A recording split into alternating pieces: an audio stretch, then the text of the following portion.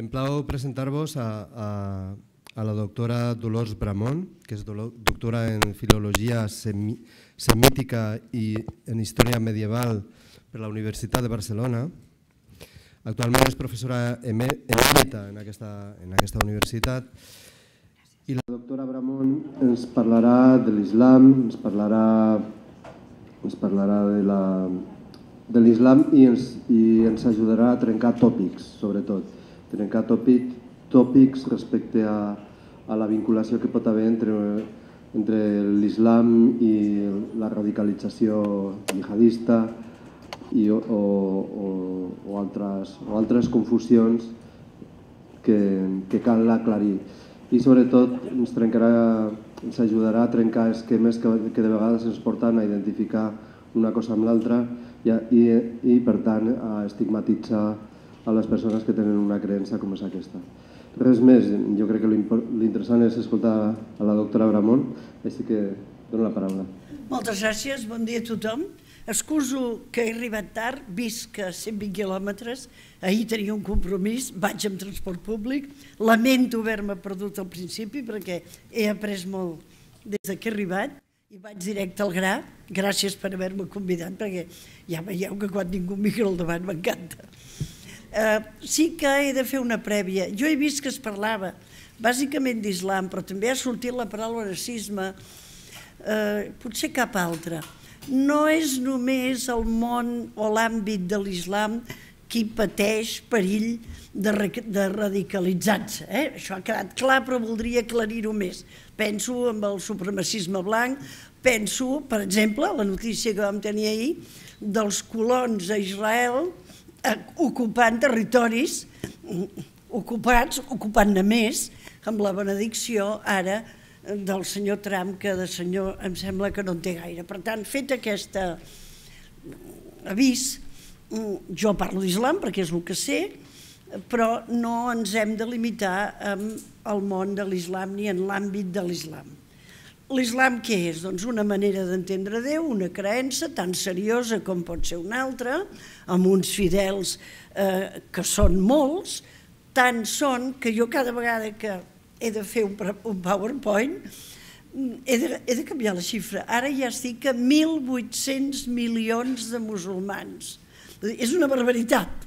Quan eh, s'ha parlat de què vaig anar a l'Hospitalet, en aquell moment vaig escriure 1.500 milions, i em sembla que fa 3 anys.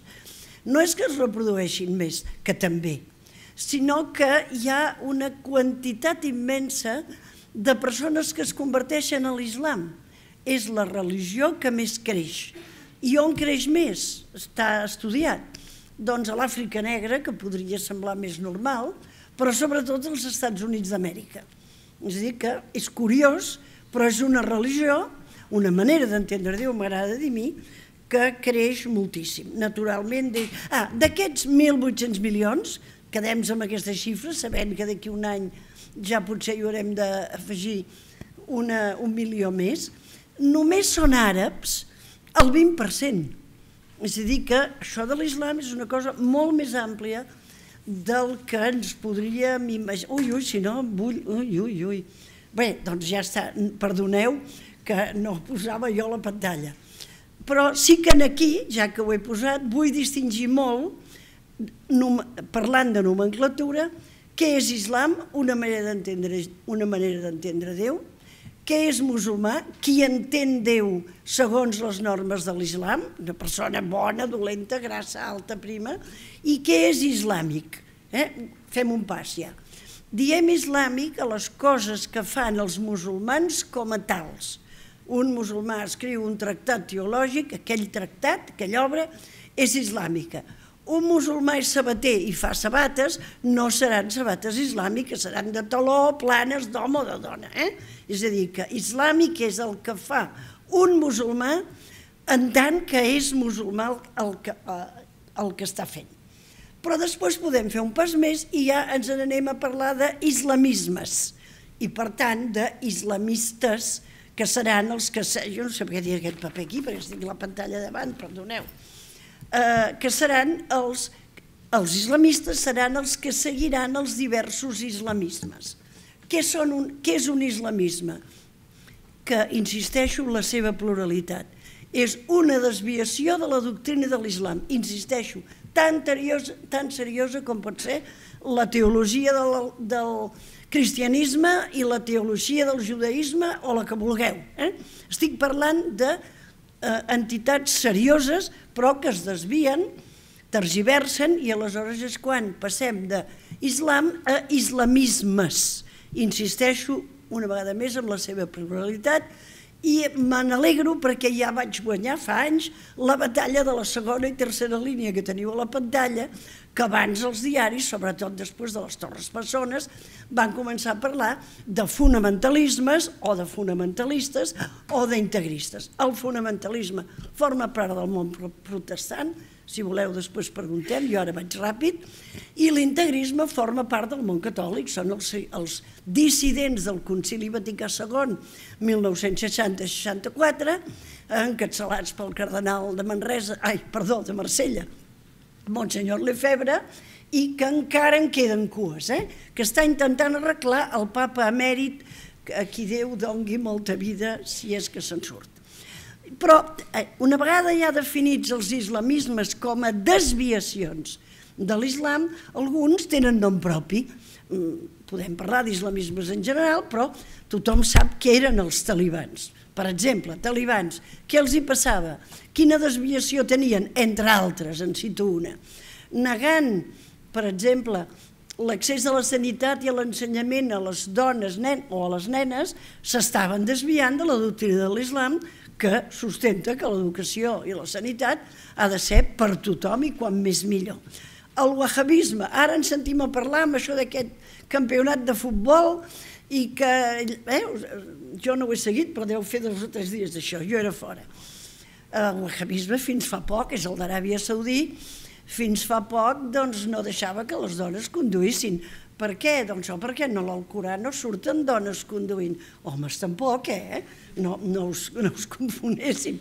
El Qaeda se n'ha sentit parlar suficientment, fins i tot aquest matí, Boko Haram sembla que el tenim una mica paradet, i ja ens n'anem a parlar de terrorisme pur i dur, mm, i que per tant jo crec que no ha de fer cap por parlar de terrorisme i de terrorismes i de terroristes. I com sabeu jo fa molts anys que fracasso volent eliminar la paraula jihadisme del nostre vocabulari. És un fracàs, si és com he assumit alguna victòria, doncs seguirem dient jihadistes, però almenys intentaré explicar per què no s'ha de dir, que us vingui una mica de mala consciència, si, qui de pretar? Aquest, sí, si és que la dieu. Mm, ràpidament, musulmà indica condició religiosa. Pot ser un musulmà nascut al barri de Gràcia, a Madrigal de les Altes Torres o Ruanda. I un àrab, la paraula àrab, significa cultura, llengua principalment, i al·ludeix a 24 països només, entre els quals hi conto eh, el Sahara i eh, Palestina. Eh? És dir, que aquí els 20, amb alguna eh, literatura que trobeu us quedaríeu en 22. Són 24 al meu entendre. Per què confonem àrab amb musulmà? Doncs perquè la religió de l'islam neix a la península d'Aràbia, on es parlava àrab, on eh, es va eh, desenvolupar una cultura que, anirem, que en direm àrab, i perquè el seu llibre sagrat, la seva, eh, el seu pla d'acció està, diuen ells, dictat per Déu en llengua àrab, perquè Déu no és tonto i no es posarà a dictar en català, eh, mira, no li va venir bé, ell sabrà amb la seva infinita sabidoria per què no va triar Catalunya com a darrer receptable, receptable, no ho sé dir, de la seva revelació. Per tant, l'àrab és la llengua culta de l'islam, però la immensa, immensa, immensa majoria de musulmans se saben aquest seu llibre sagrat, de memòria, la immensa majoria, insisteixo, i aquesta mateixa immensa majoria desconeix què diu aquest llibre sagrat en llengua àrab, perquè l'àrab que va utilitzar Déu era l'àrab que es parlava a la primera meitat del segle VII. Ha plogut molt i ha eh, la immensa majoria, insisteixo, se saben l'Alcorà de memòria, però no entenen què diu. I adverteixo, no és a la pantalla, però m'agrada dir-ho, adverteixo d'un perill. Hi ha un perill, tenim un perill, Occident té un perill, i és que aquests països que jo nomeno del petroislam, és a dir, que estan podrits de diners, tradueixen des de fa temps eh, l'Alcorà, aquell àrab de l'Alcorà, a les diverses llengües occidentals, o al bantú també, eh? vull dir, ha moltes llengües. L'Alcorà és el llibre més traduït, més que la Bíblia. I eh, el tradueixen no fidelment, sinó que alguns passatges, gràcies, els tergiversen.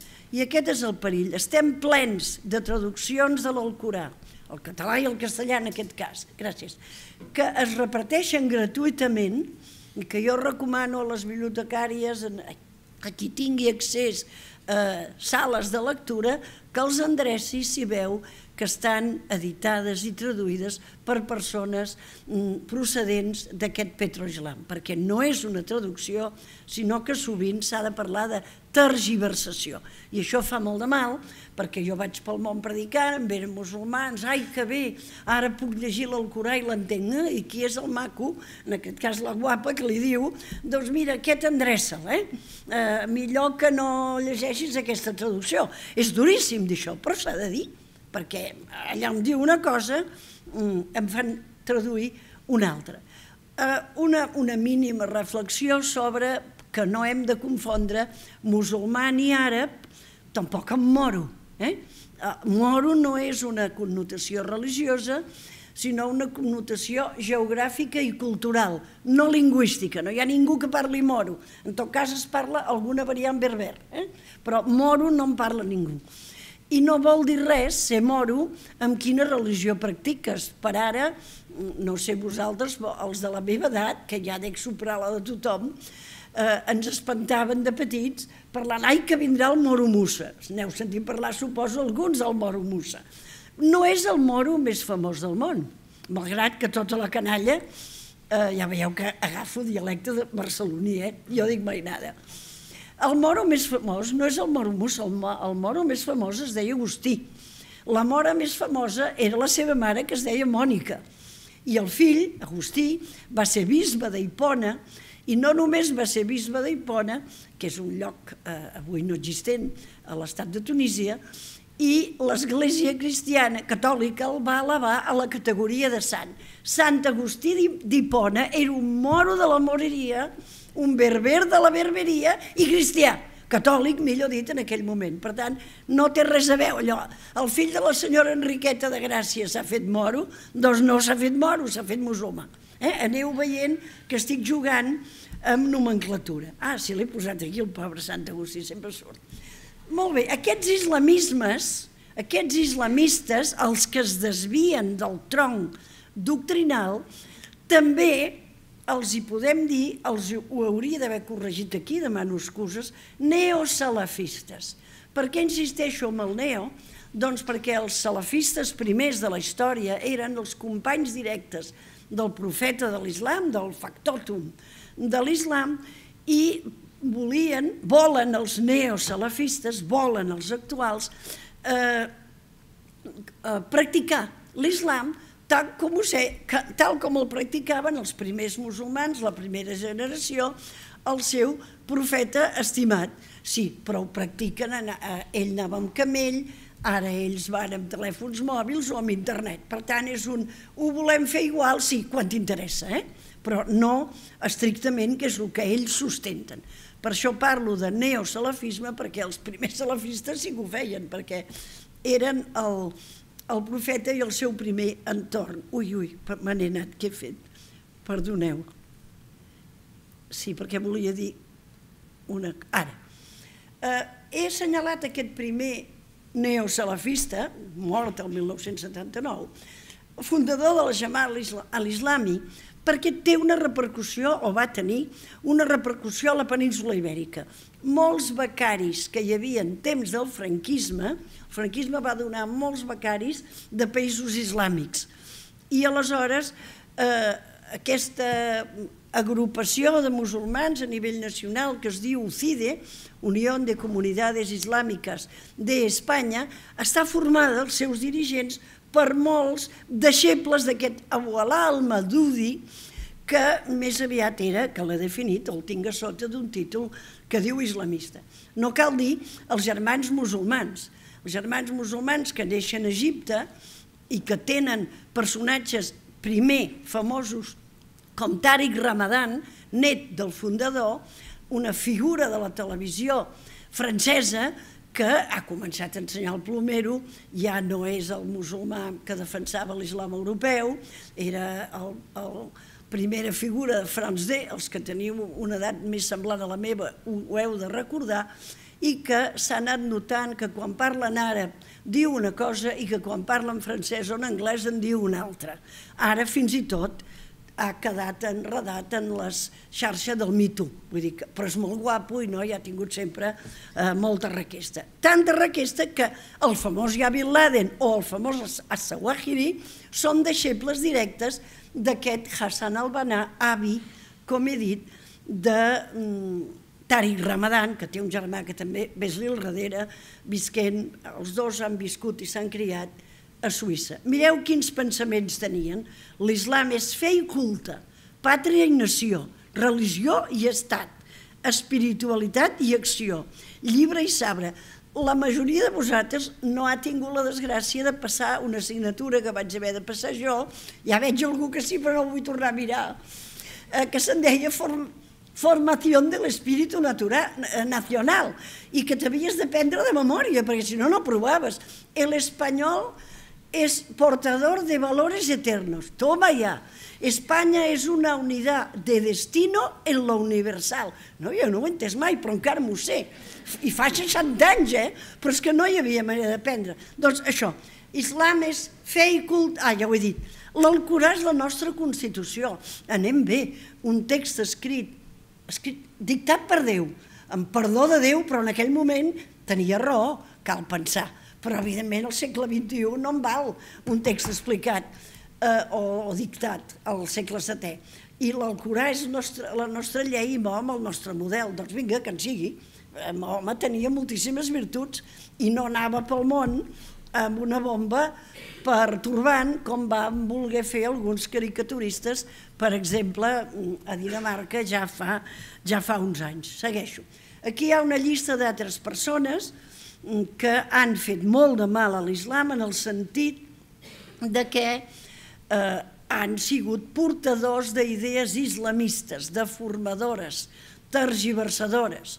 Eh, per exemple, si, aquest segon, Abdelaziz Imbas, aquest era sec des dels 40 anys, però va tenir una influència enorme perquè va fundar i, i, i radiar des d'una ràdio juvenil eh, i explicant moltes bestieses. No sé si ho llegiu, però fa poc, fa 5-6 anys, va dir que... No, abans de marxar, o sigui, fa 5-6 anys no, que veig l'any que va morir, però va explicar que era lícit menjar carn de sirena. Dius, home, ara vostè em surt amb això? Bueno, com, doncs ja me la menjaré si en trobo una, doncs bon profit li faci. Eh? Però amb aquestes bestieses es va ampliant i, és clar, naturalment, és la Terra, és el Sol el que dona voltes a la Terra i la Terra és plana. És a dir, que això ens n'anem a molt antics, a idees molt antics. Tots heu sentit parlar del capità Garfi de l'Afganistan durant el govern taliban, aquell que havia perdut la mà, eh, les dues mans, i que eh, ha fet molt mal dintre el camp d'aquests islamismes.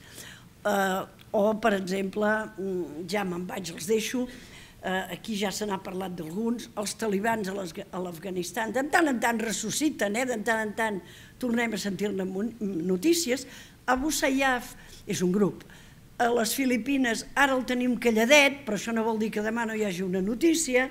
Al-Qaeda sembla que ha estat superat per el mal anomenat estat islàmic, que té una gran diferència. Al-Qaeda no pretenia tenir ampliació o base territorial i el mal dit estat islàmic sí que volia territori i a part de tenir aquest territori expandir-lo. Eh? Els mapes aquells que es veia verd tota la península ibèrica frenada per la cadena dels Pirineus, a dir, que a sobre eh, ignorància, perquè l'islam medieval va traspassar els Pirineus, va arribar a Marsella, va arribar a Tolosa de Llenguadoc, és a dir, que a sobre no saben ni tan sols història, que en aquest cas els hi... Els hi ai, no he girat, no he girat jo. Ara, perquè, què faig? Perdoneu-me, eh? Ara, aquest també l'he dit. Vale. I vull parlar directament d'aquest pretès estat islàmic, he subratllat, he posat en negreta, la paraula pretès, per el que ara tot seguit diré. És una branca d'Al-Qaeda. Al-Qaeda ja sabia molt què era i què segueix sent, perquè segueix havent-hi partidaris d'Al-Qaeda, però eh, es desfà, es desprèn aquesta, aquesta branca eh, influïda per, el, per el CUPT, que ja, ja se n'ha parlat, i per tots aquests altres mm, meravelloses persones que tant de bo no haguessin nascut mai, i eh, s'implica en la guerra civil síria contra la dictadura síria dels Assad, és a dir, que és una implicació política, i aleshores sorgeix això que en diem malament eh, estat islàmic, però que jo no li puc donar aquest nom perquè les coses que fa, o que feia i que fa, i que seguirà fent, malauradament, no formen part de la doctrina de l'islam.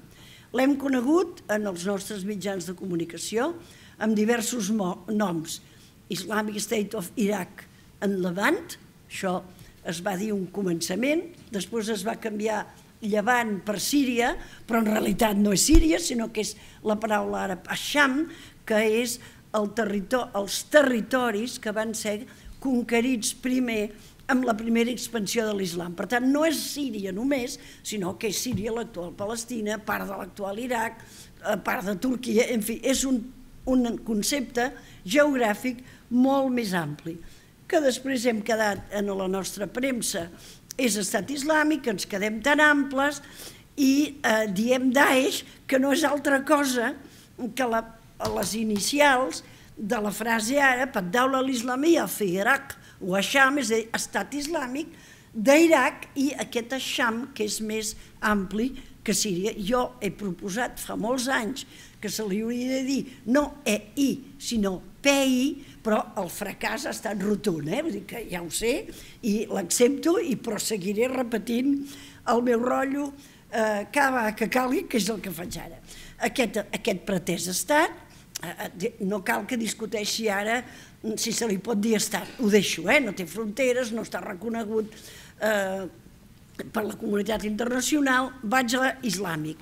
Aquest, doncs, aquest pretès estat, el juliol del 14, fa un pas més mm, escandalós per part dels musulmans, i és que proclama un califa. Diu, aquest senyor és califa. Quan la condició de califa o la institució del califat s'havia abolit el 1924 per part de Kemal Atatürk, eh, eh, un republicà eh, turc, i tots els musulmans van estar-hi d'acord. És a dir, que la, els milions que ja llavors eren no va, no va eh, protestar i per tant van acceptar que s'havia acabat la idea de califa que no és res més que el successor del successor del successor de l'enviat de Déu. Eh? i em sembla que Déu ara no enviaria aquest tipus d'enviats. Veig que ja he posat aquí el nom de l'actual, el califa anterior eh, el va matar als Estats Units fa escassament un mes, eh, mira, exacte, encara no fa, no fa ni un mes, es deia el Bagdadi, no era el seu nom, es va posar el Bagdadi perquè és eh, honorífic, i aquest d'ara s'ha posat el Quraishi, que també és més honorífic encara perquè és la tribu a la que pretenia el profeta. Mireu si tira enrere les seves arrels aquest Abu Hamza. Eh? Tornem al, en aquest pretès estat islàmic. Jo soc, jo soc islamòloga i per tant el que he d'analitzar és la seva conducta i comparar-la, acarar-ho amb la doctrina de l'islam i insistir i criticar que Occident ho ha acceptat i repetit tranquil·lament. Aquí parlem d'estat islàmic, o si no ara diem Daesh, més catalanero, amb Vics i tot, o, o ISIL, o en, com es deia, en, el Javier Solana a TV3 deia l'ISIS, bueno, molt bé, ara vols dir, a la, a la, a, si poses una I per la pronuncies a l'anglesa, és igual. Què diu l'Alcorà que jo pugui aplicar a la conducta d'aquest pretès estat? Doncs que no poden lluitar musulmans contra altres musulmans. Ho diu tan clarament com clarament ha estat desobeït al llarg de la història. Eh? És a dir, una cosa és la i l'altra és la part, la pràctica.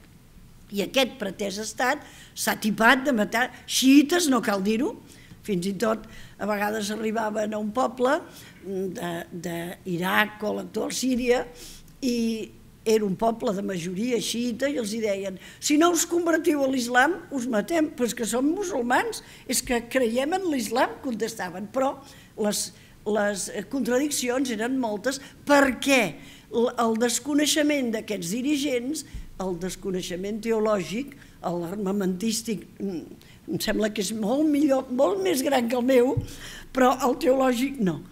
Aleshores aquest estat islàmic, mal dit, s'ha tipat de matar xiites, però també de matar kurds, que són sunnites com diuen ser ells. Insisteixo en lo de diuen ser ells. I altres musulmans no afins. Eh, una altra cosa molt clara que diu l'Alcorà, per ells paraula de Déu, és que un govern islàmic té l'obligació de protegir a les persones monoteistes, és a dir, les que creuen un, en un sol Déu i que tenen un missatge, una revelació, no només les ha de tolerar, sinó que les ha de protegir. I això la gent, perdó, l'islam ho havia fet i ho ha fet tradicionalment. Encara tenim coptes a Egipte, que són ortodoxes, cristians ortodoxes, encara tenim jueus al nord de, de l'Àfrica, que alguns van marxar amb la creació de l'estat d'Israel, eh, tenim jacidites, que ja no, bueno, els pocs que queden, els sabeus d'Iran, que són els descendents o els seguidors de Joan el Baptista, els masdeistes d'Iraq, tota aquesta gent que ha massacrat el pretès estat islàmic necessita, segons l'islam, no necessita, perdó, tenen dret a la protecció d'un govern islàmic que es digui islàmic. I, evidentment, eh, li nego una vegada més la condició. Vaig de pressa perquè comprenc que tots teniu gana on esteu tips. Eh, I jo voldria criticar l'ús, ja sé que és una derrota, eh, ja l'assumeixo abans de posar-m'hi, l'ús dels termes jihad o jihadisme, que ho pronuncio a la catalana perquè a l'Institut d'Estudis Catalans vàrem entrar aquesta paraula com a paraula catalana, jihad, escrit com està ara, bueno, aquí està tatxat perquè jo no estic parlant d'això, sinó de que no s'ha de dir, però sí que ho tenim en el diccionari normatiu, eh, que va ser bestseller el dia de Sant Jordi de l'any 2007 i definíem jihad, em sembla que ho diré més endavant, per tant em quedo a la pantalla altra vegada que estic criticant l'ús del terme jihad i de jihadisme si l'aplico a el que avui s'ha parlat molt aquest matí, que és terrorisme pur i dur. Eh? Amb terrorisme ja n'hi ha prou al meu entendre. Quina sort tenim els que estudiem islam si volem saber el significat d'una paraula o d'un verb? I és que si Déu l'ha utilitzat a l'Alcorà, jo no crec que l'Alcorà l'hagi dictat Déu, però com que els musulmans ho creuen, puc perfectament analitzar quin ús veuen que Déu en fa, perquè es creuen que Déu el va dictar. I Déu, estaran d'acord, que és la persona infinitament més sàvia que ningú en aquest món. Per tant, quin ús li dona Déu en el seu dictat, recollit després en el llibre de l'Alcorà. Doncs apareix unes 35 vegades, alguna altra, 36, 37 serien potser més discutibles, però 35 vegades per anar ràpid, de les quals 35, 22 i 3, 25, és, al·ludeix Déu, pel context, clarament a l'esforç que ha de fer tota persona musulmana per ser cada dia millor musulmana o per practicar millor l'islam, per recuperar la nomenclatura que he dit al principi, eh? perquè cada govern islàmic sigui cada dia millor govern islàmic. És un esforç que s'ha de fer. Per tant, és una paraula masculina que no s'ha de confondre amb Guerra Santa ni amb res de tot això.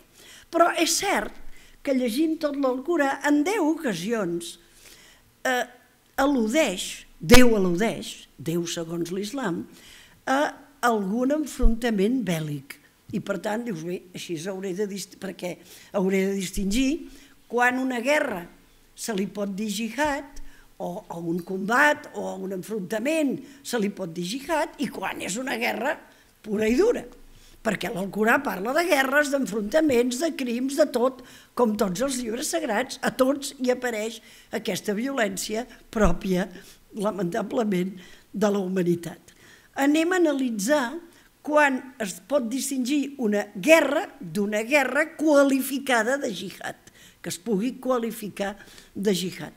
Això jo no ho he fet, ho va fer un, un gran eh, islamòleg, un gran savi, nascut a Còrdoba al segle XII, que es deia Averrois en català, Imrush en àrab, i que és famós, famós, que si aneu a la Universitat de Barcelona i entreu per la porta gran de la Gran Via, entrant a mà dreta trobareu una figura, una escultura gran de Ramon Llull i la següent és aquest Averrois, és dir, és una figura del pensament universal i el tenim a la Gran Via de Barcelona, no entre els acampats, que em sembla que ja no hi són. Quan es pot parlar, doncs, de jihad? Quan un combat és obra de jihadistes, eh? Llegiu-me això. Heu d'aplicar el que ara posaré a la pantalla amb quan apliquem això a un que li diem jihadista, mal dit al meu entendre. I jo aprofito per veure aigua. Ah, ja me n'has posat.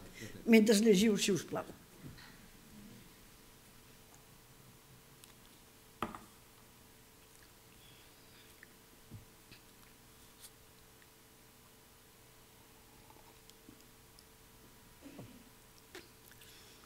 Suposo que a mitja lectura ja haureu arribat a la conclusió de que no es pot dir que facin jihad aquests a qui nosaltres estúpidament diem jihadistes.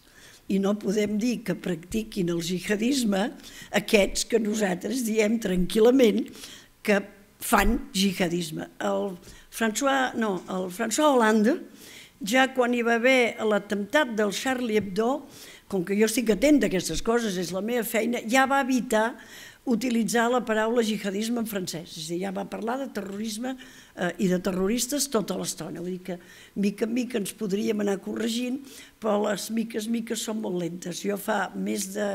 em sembla que des del 2005 que ho predico, ho dic perquè era aquella època en què la Mònica Terribas feia un programa a la televisió que es deia La nit al dia, una cosa així, i em va convidar, ella va començar a parlar de jihadisme, la vaig parar i al minut ella va deixar de parlar de jihad i de jihadisme. Dir, és una entrevistadora que escolta a l'entrevistat, que no sempre, deixeu-m'ho explicar perquè també jo eh, també m'agrada expansionar-me. Un dia jo estava amb un entrevistador superfamós i totatà i tatatà, jo anava dient que no s'ha de dir jihadisme, que no s'ha de dir guerra santa, que no sé quantos, que no sé què, i com que la majoria, no, no, com que alguns entrevistadors i entrevistadores, quan et fan parlar, no t'escolten, sinó que pensen quina serà la seva següent pregunta, o sobretot com tancaran l'entrevista, això és molt important, doncs va acabar dient, té tota la raó la doctora Ramon, no s'ha de dir guerra santa. Nosaltres en el llibre de, com en diuen, el llibre de d'estil, ni diem guerra sagrada. Vaig dir, fantàstic, vostè ho ha entès tot. Fantàstic. I així anem, així anem i així anem. Ja heu vist, doncs, que no es pot aplicar el nom de jihadisme ni de jihadistes a les persones que són simplement terroristes. Mm, I sí que val la pena preguntar-se d'on ve això.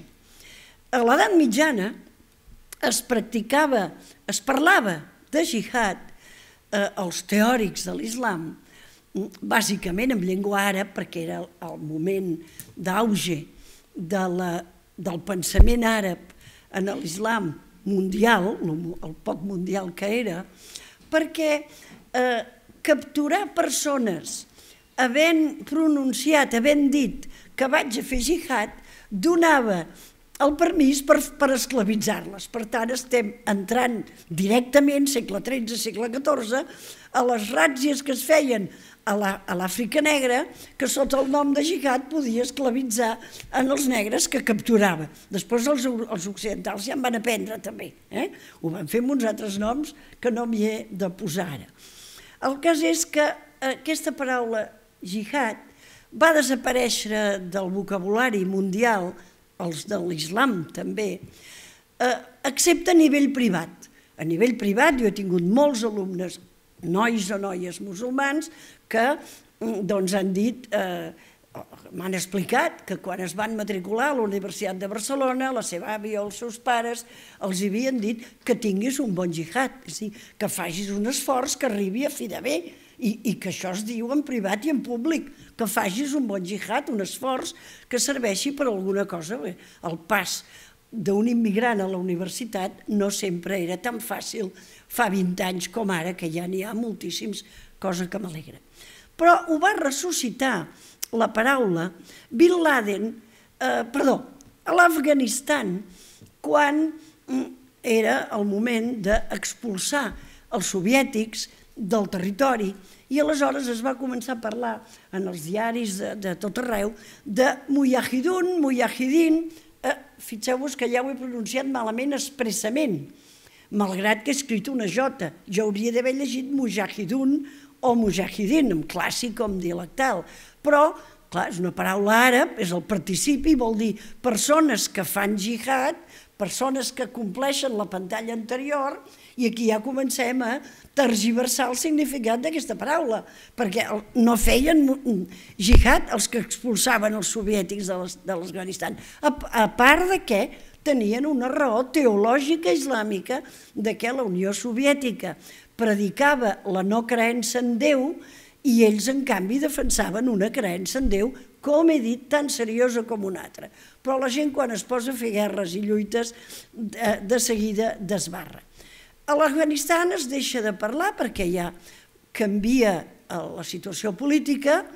Bin Laden hereta tots aquests mujahiduns, eh? ja ho faig a la, mig catalana, mig àrab, i he posat una S plural de català, i eh, Bin Laden torna a ressuscitar la paraula mujahidun.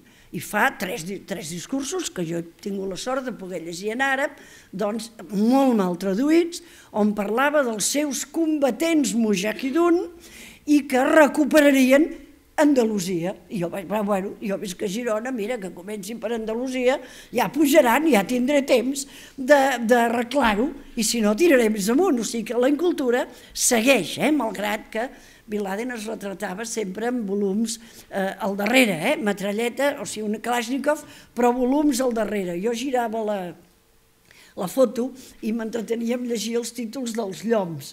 I us, no era el Playboy, no, no ho era, no ho dic, però mm, podríem dir que gairebé. Bé, com dic, eh, ell ressuscita Mujahidun, els castellanoparlants ja passen a Y, mujahidun, mujahidines, mujahidines, ara hi ha algú... Eh, a TV3 hi ha una que diu mujahidins, bueno, ja, ja m'ho ha canviat tot, però... I com dic, allà el 2005 s'occidentalitza i alguna ment preclara diu per què els hi hem de dir una paraula àrab? Fem la catalana, inventen jihadisme, jihadista, i jihad, quan en realitat són terroristes, assassins i, si voleu, aquest, etc. I podeu posar fills de sa mare, que ja m'enteneu què estic dient, no? Però eh, això ha triomfat i no hi ha manera. I jo vaig tenir... Ai, no, deixeu-me que hi hagi més suspense. És que ja acabo, perquè he anat de pressa expressament. Uh, uh, què passa? On era? Sí, jo, estava, jo sóc optimista de mena, com veieu. I vaig pensar, bueno, eh, a base de, de jihadistes i de jihadisme estem oblidant l'expressió Guerra Santa, que ja era hora que s'oblidés a Occident, perquè aplicada a l'islam. Eh, el concepte o la frase Guerra Santa no és en absolut pròpia de l'islam. Els musulmans no la tenen al cap, no l'han tinguda mai. Ara sí, perquè ja estem tips d'ensenyar-los, no? Però és un concepte, Guerra Santa, que neix a, a raó de la primera creuada, el papa Urbà II, quan els occidentals van cap a Orient a, a rescatar els llocs sants, doncs els hi diu que fan una guerra santa i que vagin a fer aquella guerra santa. Franco eh, adoptarà la idea i parlarà de la Santa Cruzada. Eh? Vull dir, tot això va lligat. I eh, pensava jo, bueno, mira, hem deixat de parlar de Guerra Santa, ja és un molt, però el goig va durar poc perquè a la 23a edició del Diccionari de la Real Acadèmia Espanyola, que va sortir a l'octubre de 2014, es va fer els següents errors. Tota la línia vermella és un error. Primera, l'escriuen en Y. Si és jihad, si és Girona, Girafa, Gioconda, James, Jessica, mm, eh, diguem-me més, eh, Jonathan, eh, vull dir, amb totes les vocals. Per què, carai, ho han de posar amb Y? Ah, perquè los castellanohablantes no sabemos pronunciar. Ah, no, però si saben dir Jonathan, hi ha un, un Jimmy casat amb una neta d'en Franco que surt a la Telecinco, jo a vegades el veig, i diuen Jimmy, li diuen Jimmy tothom. Eh? Doncs no, ells no ho saben dir i per tant, jihad. Dius, ja comencem malament, ni pronunciar. Segona paraula, fem, és a dir, diminutiu de femení. Estaran pensant en Guerra Santa? No, ho escriuen. Definició, Guerra Santa de los musulmanes. Amb una, amb una, frase, amb una línia del diccionari no es pot cometre cap més error i això és molt criticable per part d'una institució que en els seus estatuts diuen que limpia, fija i d'esplendor. Pues en aquest cas no en van endevinar ni una. Eh, eh, jo recordo que en aquells moments en què això va sortir publicat el 2014, però ja es, es va covent, no, no es fa una segona edició, una 14 una 23a edició d'un diccionari tan gros eh, amb dos anys ni amb deu. Feia temps que hi treballaven, per tant, en els que ens dedicàvem a la filologia ens arribaven les veus i els rumors, en aquell moment, ara ja no, el director de la Real Acadèmia de la Història era col·lega meu, bueno, col·lega dels, dels professors de la Universitat de Barcelona, i jo li vaig escriure una carta en català, benvolgut col·lega i amic i president, eh? director, director, director de la Real Acadèmia. I li vaig dir, no feu aquesta bestiesa, no, no la feu, perquè, i li vaig enviar um, literatura perquè veiés i tal, que no era Guerra Santa, que això era un concepte catòlic, etc. El silenci va ser la resposta. Però ara, fora de conferència, em sembla que no tinc res més jo. Ah, ah sí, volia parlar d'això, eh, que ja el mosso m'hi ha fet pensar i me n'alegro molt. Jo a classe explicava, tornaré, eh? A classe explicava que, et veig i et saludo, a classe explicava que hi ha tants conversos a l'islam, quan explico que és la religió que més creix, que hi va haver-hi, eh, als anys 90, l'avantguàrdia, que encara no s'escrivia en català, eh, va fer una promoció, va fer el propòsit de, eh, durant el mes de Ramadà, publicar tota una pàgina sobre islam, ensenyament de l'islam. Eh? Igual com ara, cada diumenge escriu el senyor bisbe de Barcelona i hi ha dos o tres articles sobre religió catòlica, l'avantguàrdia aquell temps, els 90, va decidir publicar coses sobre islam. Va durar dos dies, eh? La, dos dies es va publicar una pàgina sobre islam. El segon dia era una entrevista amb una persona seriosa, eh, ara és morta, un psiquiatre, basc, que va morir a Còrdoba, convers a l'islam, i argumentava que no volien ser dits conversos a l'islam, o l'altra manera que tenim correcta de dir-ho, que és dir-los neomusulmans, és a dir, per distingir, si és que cal, els musulmans que eren nascuts en famílies islàmiques i que per tant eren musulmans per naixement, o bé persones que havien adoptat l'islam per convicció pròpia i per llibertat, i per, etc. I ells volien ser dits, deia aquest psiquiatre, retornados. I, clar, la pregunta que li va fer el periodista era retornados, eh, què, què vol dir? La resposta era perquè els nostres primers pares, us en recordeu, Adam i Eva, i l'episodi de la poma i de la serp, em sembla que ja hi ha gent que no ho recorda, afortunadament, afortunadament. doncs aquells nostres primers pares havien practicat l'islam, però després es havien anat pervertint i Déu havia tornat l'islam a la terra gràcies primer al sacrifici d'Abraham, disposat a matar el seu fill, i sobretot enviant el profeta Muhammad a la terra. Clar, a mi això eh, em feia gràcia i, i em dol, però, eh, i pensava en la meva àvia, la meva àvia sempre em deia, amb coses així, mira nena, d'això fa molt de temps, nosaltres no hi érem i potser no era veritat, a mi què m'expliquen els primers, primers pares, si eren musulmans o eren què? Eh?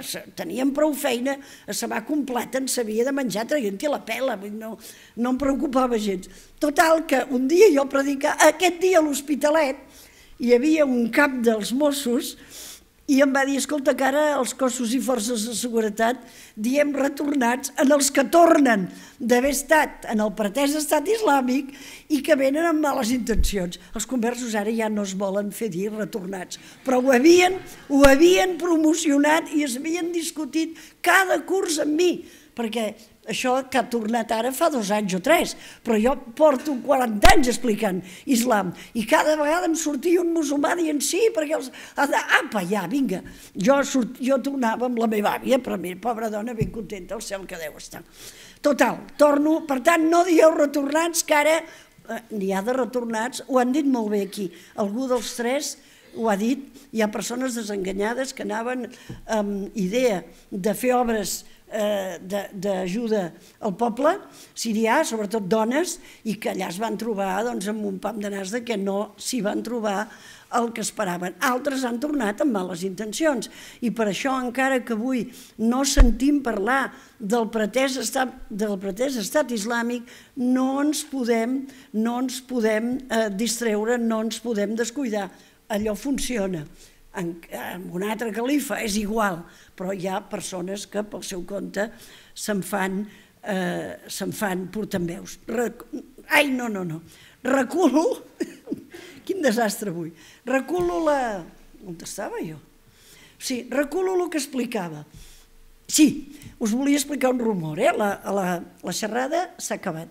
Estava intentant explicar per què el director i amic no em va contestar de la Real Acadèmia i quin rumor m'arribava, perquè és que rumors, els rumors no els paren. El rumor era, i és, estic segura, que això, ells fan una reunió cada dijous a Madrid. Tots els acadèmics van a Madrid, cobren unes dietres, eh, etc. i es reuneixen i discuteixen i són rancis i tot el que vulgueu. I, bueno, jo en conec molts i són doncs, ja d'edat, de certa edat, però jo tinc edat però no soc rància, carai. Perdoneu, perdoneu. El cas es que eh, los señores académicos tuvieron que discutir tanto para ponerse de acuerdo en cómo definir la palabra matrimonio, si sería de personas de un mismo sexo o de distinto sexo, que se les echó el tiempo encima y ¡bum! Van arribar a la Y, no hemos puesto yihad. ¿Qué es esto? Ah, Guerra Santa, Guerra Santa, i aquí ho tenim imprès i diaris que utilitzaven la paraula jihad o, o, o el que sigui, ara el país torna a utilitzar Guerra Santa quan l'havia deixat d'utilitzar. Eh? Ara tenim un petit problema i és que alguns diaris eh, ho escriure amb G, que és el que vam aprovar a l'Institut d'Estudis Catalans l'any 2007, i altres ho escriuen amb J. A mi m'és ben igual, eh? perquè per un català eh, i per un castellano parlant, muj, eh, jihad amb J s'ha de pronunciar jihad, perquè la J només la pronuncien de Madrid cap amunt, de Madrid cap avall no pronuncien la J. Per, busqueu jamón i Jesús, com ho diuen? Jo no ho sé dir perquè no sóc andalusa ni extremenya. És a dir, que el món està ple de contradiccions. I, ah, què tenia jo aquí? Unes fotos que m'han sortit. Eh, parlant de refugiats, i que hi ha hagut molta polèmica, jo la vaig tenir amb el antic ministre de l'Interior, de trista memòria, Fernández Díaz, es deia? Eh, el català aquest, sí, eh, que deia, és que, claro, nos van a entrar eh, jihadistes amb aquests refugiats. I jo deia, bueno, eh, vostès els deixin entrar. La seva feina, o la dels cossos de seguretat, és destriar qui és jihadista i qui és un pobre refugiat. Eh? Eh, I no sembla que hi hagi grans eh, panorames d'acollir refugiats en aquest nostre país. La foto que teniu, i és la penúltima, és un campament a la Meca, de tendes de campanya, com veieu, amb aire condicionat, veieu els, els aparells, eh? i aquest campament es posa, està fixa tot l'any a la Meca, crec que aquí hi queben molts refugiats i amb unes condicions que no són les que estan patint ara, però Aràbia Saudí, el govern d'Aràbia Saudí, diu que això són pels que van a fer el pelegrinatge a la Meca i que han d'estar ben atesos, cosa que estic d'acord, però tampoc cal tenir a l'altra pobra gent que fuig de barbàries eh, maltractada. Si us sembla, ho deixo aquí. Tu manes, es, es poden fer... Ah, qui mana? Algú vol fer preguntes o no? Doncs vinga.